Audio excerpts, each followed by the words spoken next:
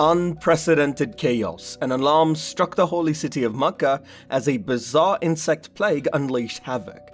Shocking footage captured the bewildering scenes that unfolded, leaving residents and pilgrims in disbelief. In this video, find out more about this startling event that has shaken Mecca to its core. A video that has become popular on social media shows a disturbing scene where cockroaches are seen attacking Muslims in Mecca. Many of these insects have invaded the Grand Mosque in Mecca, a significant place for Muslims. The video captures the moment believers prayed and suddenly found themselves surrounded by bugs. This unexpected situation caused the prayer to be interrupted, and everyone hurriedly left the area. On Twitter, a caption was shared suggesting that this event was a form of divine retribution for the perceived harm caused by Muslims worldwide. So, what is the actual news about locusts swarm at Mecca? The Grand Mosque in the sacred city of Mecca, the holiest site in Islam, has been invaded by many insects, causing a major problem for local authorities. These insects, identified as black grasshoppers, descended upon Mecca recently, causing disturbances for worshippers at the Grand Mosque. The sight of locusts swarming around lights, clinging to marble surfaces, and even covering praying pilgrims quickly spread across social media, prompting the city to take action. In response to this infestation of what some called night cockroaches, the Holy Mecca municipality issued a statement. They announced they had deployed 22 teams comprising 138 individuals and 111 devices to tackle the problem. The teams focused on areas where the insects breed and gather, such as sanitation areas and water drains. The municipality assured everyone that they were doing everything possible to eliminate these insects to ensure the safety of the guests of the holy site. Although locusts can be a major nuisance, they are not known to transmit diseases to humans, nor do they bite or sting. Hazal bin Muhammad Al Zafar, the head of the Plant Protection Department at King Saud University's Faculty of Food and Agricultural Sciences, explained that these field cockroaches belong to the Gryllidae family which is more closely related to grasshoppers and crickets than to domestic cockroaches. He advised locals against consuming or selling these insects, emphasizing that they do not spread diseases. Al Zafar also suggested that the recent rains may have contributed to the swarming, which is a natural occurrence. It was estimated that around 30,000 locusts had descended upon Mecca, but larger swarms could reach hundreds of thousands. Despite the scientific explanation, many social media users couldn't help but associate the event with religious significance. The motif of locust swarms as a form of divine punishment is present in the Abrahamic traditions, which include Judaism, Christianity, and Islam. A verse from the Quran, chapter 7, verse 133, recounts the plagues that afflicted the people of Egypt, including floods, locusts, lice, frogs, and blood. These were seen as clear signs Yet the people remained stubborn. The plagues eventually compelled the Egyptian pharaoh to release the Israelites, allowing the prophet Musa to lead them to the promised land. Every year, millions of Muslims undertake the Hajj pilgrimage to Mecca, which is mandatory at least once in a lifetime as one of the five pillars of Islam. Additionally, the Umrah pilgrimage in Mecca can be performed at any time of the year. The significance of Mecca as a holy site makes it a central destination for Muslims worldwide. Locusts swarm in Quran and Bible. The Quran mentions insects only twice, while the Bible has 36 references. In the Quran, two verses mention insects.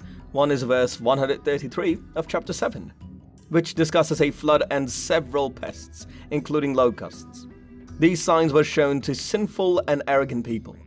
The other verse is verse 7 of chapter 54, which describes people emerging from graves, appearing like swarming locusts with humiliated eyes. Although the Quran provides limited information about these troublesome insects, the Old Testament of the Bible takes it to another level.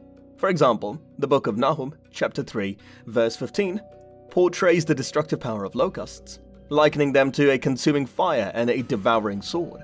They are said to multiply like grasshoppers and strip the land bare. Nahum chapter 3 verse 16 mentions how merchants multiply like locusts, stripping the land and moving on. The book of Exodus, chapter 10, verse 4, states that locusts will invade the country if someone refuses to release the people.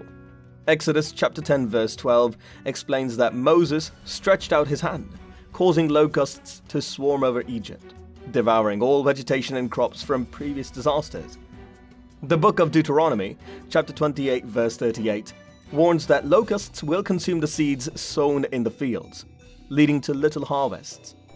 Deuteronomy chapter 28 verse 42 predicts that swarms of locusts will attack trees and crops. These references in the Bible show that the destructive nature of locusts has been known for a long time, causing havoc and devastation wherever they appear. What else is mentioned in the Bible? One of the Bible's most well-known stories about locusts is found in Exodus. When Moses asked Pharaoh to let the Israelites escape their miserable life in Egypt, Pharaoh refused. So God decided to show his power and convince Pharaoh by sending 10 plagues upon Egypt. The eighth plague was a swarm of locusts. God wanted to demonstrate his authority and make pharaohs listen to Moses. The plagues were a way for God to say, See, I am the Lord. So before sending locusts, Moses warned the Egyptian leaders about what would happen.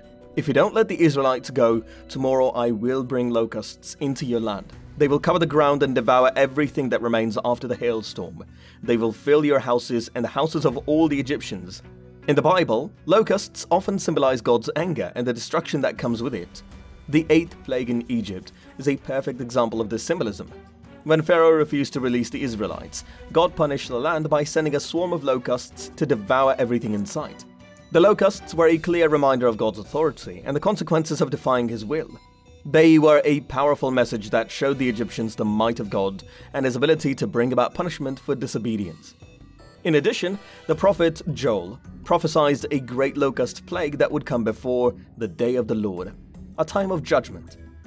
These stories of locust swarms in the Bible can be seen as a warning from God, urging people to repent and turn to Him before it's too late.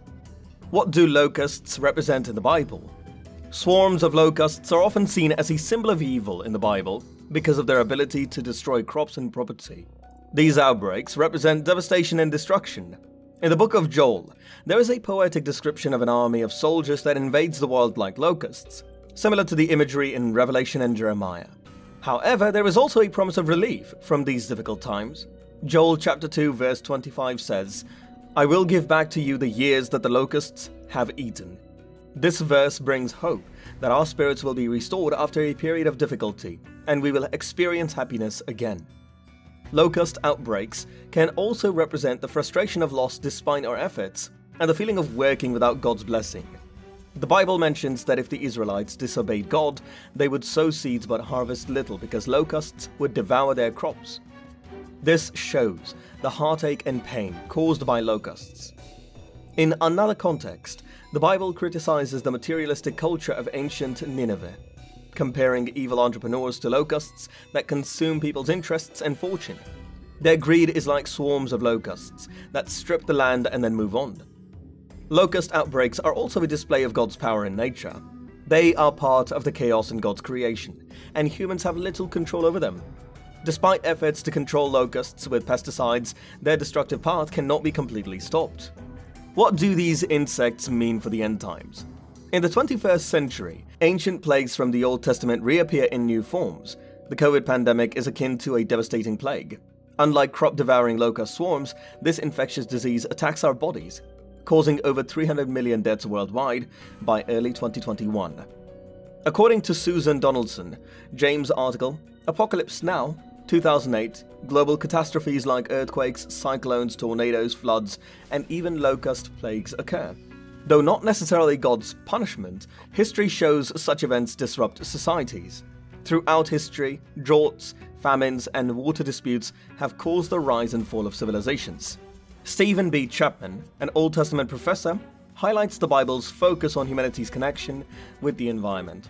Scholars now recognize the Bible's teachings on human induced environmental destruction and its relationship to natural disasters. An impending catastrophe is a potential rise in rainfall and moisture due to global warming, creating conditions for locusts to thrive and threatening agriculture and food security. The Locust Plague in Mecca, a call for spiritual reflection. In these uncertain times, as followers of Christ, we can draw solace and guidance from the scriptures.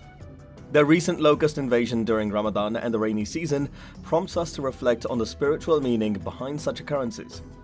By studying the biblical stories of locust plagues, we can be encouraged to see God's presence and eagerly await the return of Jesus.